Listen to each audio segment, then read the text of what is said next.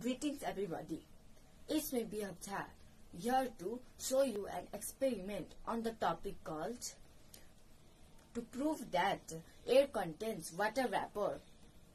At first, I have taken some ice cubes and a glass.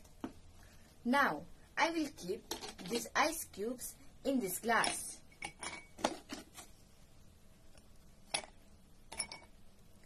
And now I will um, keep this uh, uh, for uh, 10 minutes or 15 minutes. After 15 minutes, tiny droplets of water can be seen in, on the outer surface of this glass.